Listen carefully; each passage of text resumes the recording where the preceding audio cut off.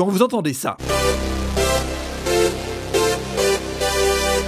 vous pensez à Eddie Van Halen, au solo de guitare en tapping, au permanent peroxydé Bah non En vrai, vous pensez à Bolly, Papin, Tapi, Drogba et la coupe aux grandes oreilles, bref, vous voyez l'OM, pas vrai? Bah ouais, logique.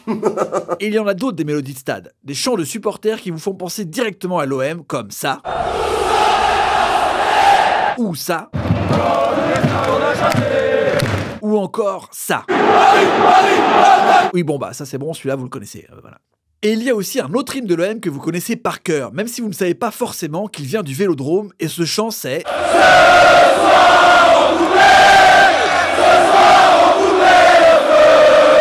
Aujourd'hui, on vous raconte les origines improbables de ce chant mythique qui passe de soprano à Ayam en passant par Annie le PSG et la fête de la bière. Si, si, pour de vrai. C'est incroyable, les amis. La vie de ma mère, c'est incroyable. Dans son dernier album, Soprano invite SCH, Joule et Alonso sur le morceau Planète Mars 2021. Sur le refrain, la bande organisée fait référence à un classique du rap marseillais, Le Feu.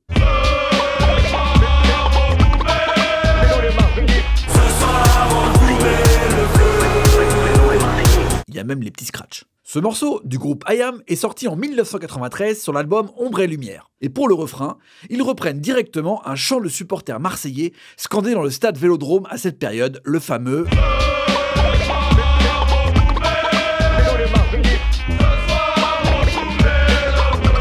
C'est la grande époque de l'OM. Le club vient de gagner la Ligue des Champions, une première pour l'histoire du football français. Mais d'où vient ce chant mythique, repris par Ayam et Soprano, mais aussi les Droppers? Et Phénoménal Club Eh bien, tout se passe le 18 avril 1992. L'OM est en déplacement au stade Louis II pour rencontrer l'AS Monaco, son dauphin. Un match qui s'annonce explosif. Dans le bus qui les emmène, les supporters décident de lancer un nouveau chant pour envoyer contre Monaco. Bon, le trajet est court entre Marseille et Monaco, donc il faut aller à l'essentiel.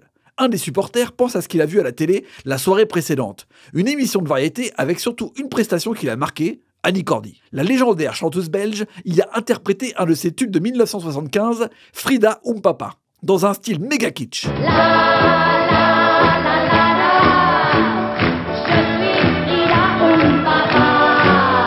Le supporter chante alors l'air d'Annie et tout le bus improvise ses paroles pour le match du soir, les fameux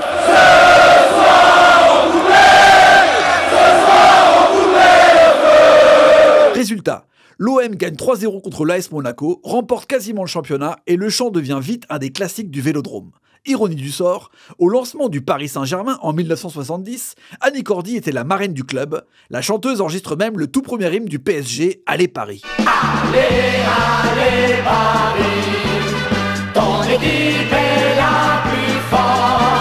Mais l'histoire ne s'arrête pas là, car le morceau original d'Annie Cordy, Frida Umpapa, reprend lui aussi une mélodie intemporelle, un air de polka décliné en Allemagne en mode fête de la bière.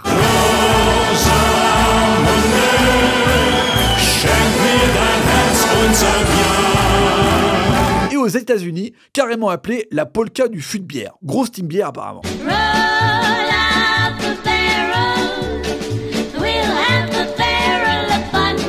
Ici, on retrace l'origine de cette mélodie très populaire depuis les années 40 et la fin de la guerre. On atterrit en République tchèque. C'est en fait devenu la mélodie tchèque la plus connue au monde. Lors de sa création en 1927, le compositeur Jaromir Verjoda a reçu 150 couronnes. En gros, 6 euros. Ouais, une pinte pas chère, quoi. À Paris. Bon bah, encore Team Beer apparemment.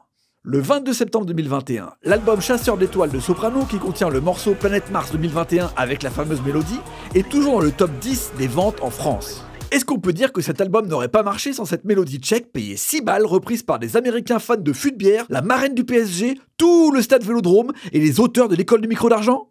Non, ça on peut pas le dire. Mais bon, ça vaut quand même plus qu'une pinte pas chère à Paris. Alors que pourtant c'est c'est déjà cher en fait.